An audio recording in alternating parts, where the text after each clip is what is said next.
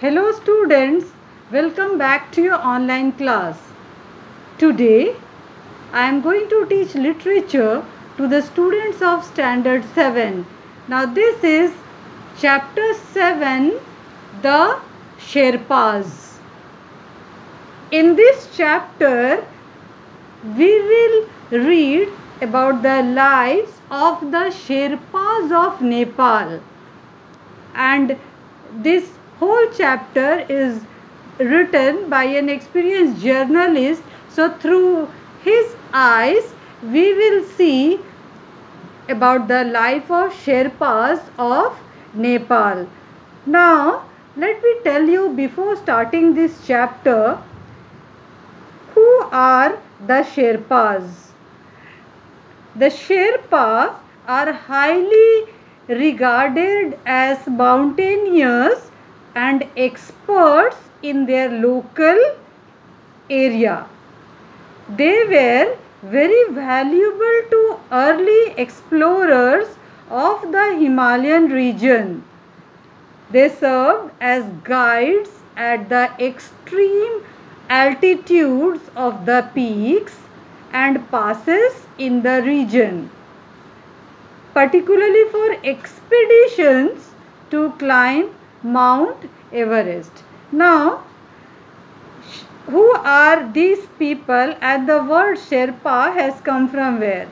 This Sherpa, these are the group of native which belong to the mountainous regions of Nepal and the Himalayas.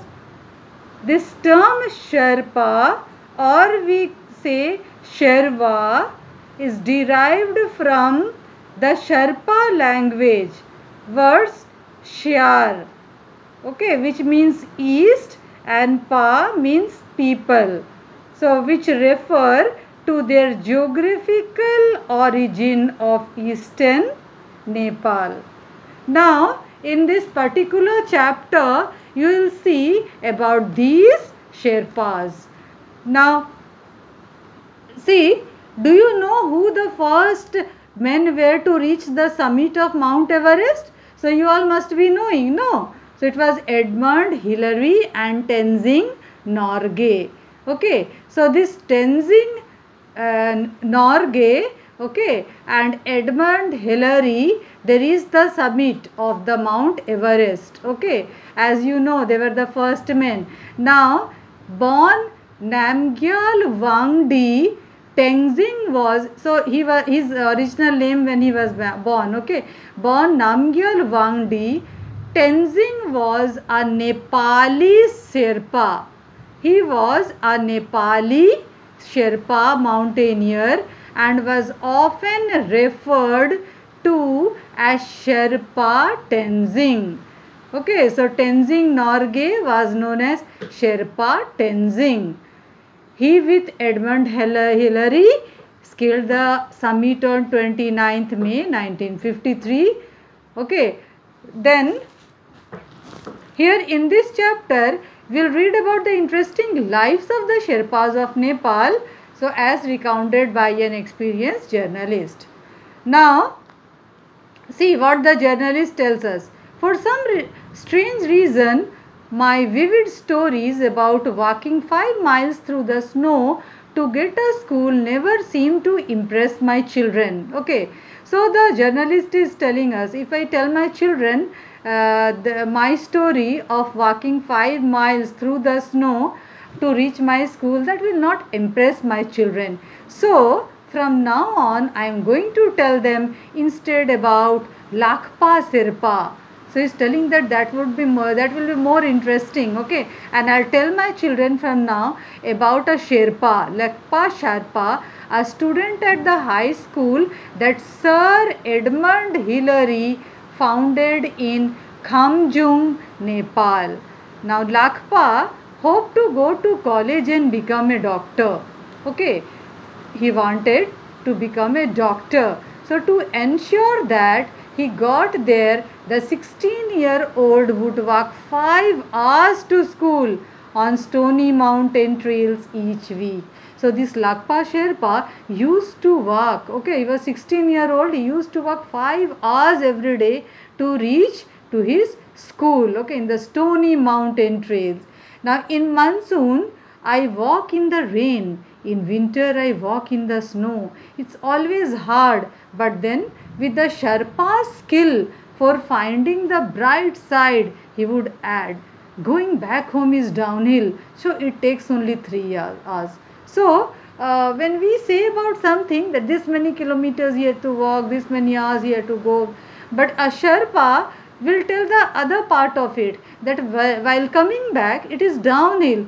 Okay, so he reminds us about that that while coming back it is downhill so it is easier and it takes only 3 hours see comparatively he says it's only 3 hours now life would have been much easier if there were a yellow school bus to take Lakpa back and forth.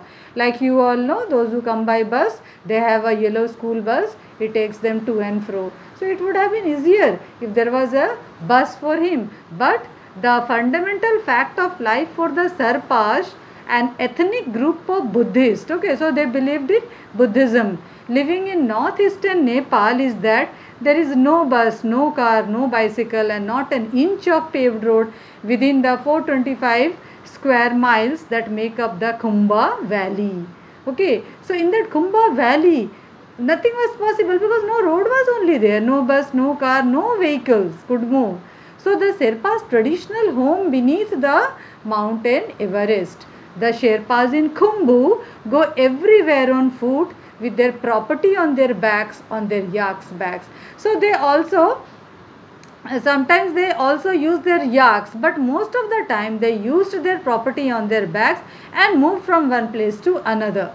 Now if after arriving at the tiny airstrip in the nearby village of Lukla, so there was a small village nearby, you, have, you if you reach there and if you ask a Sherpa okay there how far is it, it is uh, to the mountain monastery at Tengbo Boche okay so if you uh, go there and you ask there okay about a monastery monastery a building no which is occupied by community of monks okay living under religious vows eh? so they uh, stay in a monastery the buddhist monks okay so if you ask them where is that monastery at tengboche and what you get the answer the answer is given not in distance, it's 14 miles or in altitude means according to the height.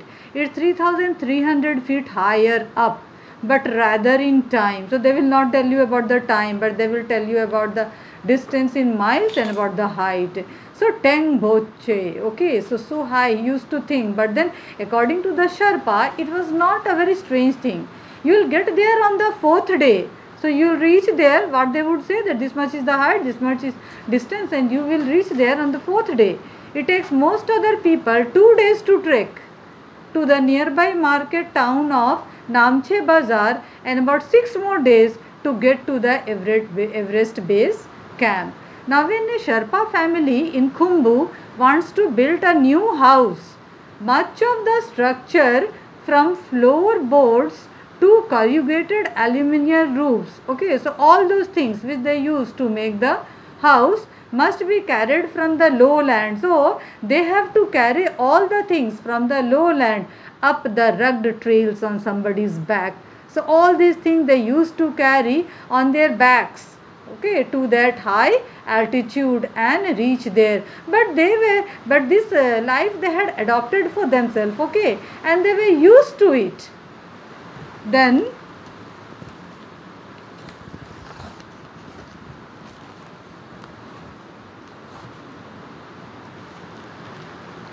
but if walking is the Sherpa's fate, okay, so their fate is walking, it has also been their fortune. So it is also their fortune, they are lucky enough to stay there, okay, they are lucky enough to be there. The first ascent of Mount Everest 50 years ago sparked a tourism bloom that draws more than 20,000 visitors each year to hike amid the planet's tallest peaks. So, about 50 years ago, when they scaled the mountain, after that, lots of tourists uh, come there and they also want to scale the tallest peaks of Everest. So actually these people are lucky, okay, to be there and they serve as guides to them. Now these people see these Sherpas, they are strong, okay, they are strong, they are well built, congenial, they are very pleasant and adept means very skilled at business. The Sherpas play a role in the tourist trade that is rivaled by few indigenous people in the world.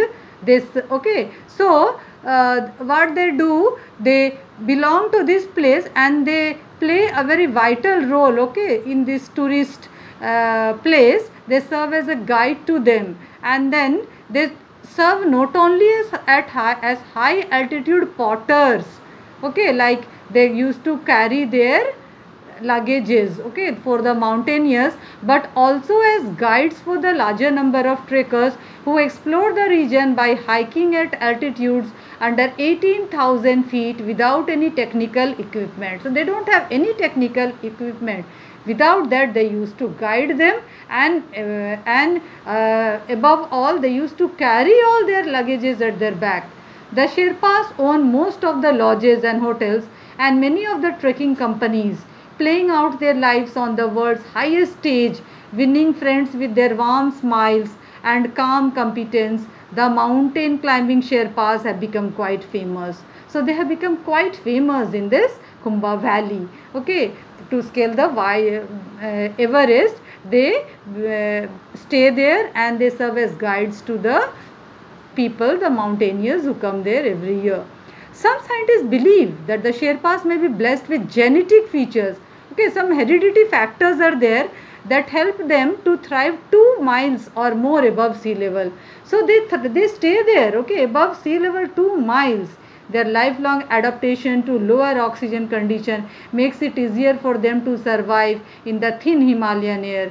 They breathe faster and thus can take it more air per minute than lowlanders. So comparatively these um, uh, sherpas those who stay there, they can take more air per minute than those who are staying in the lowlands.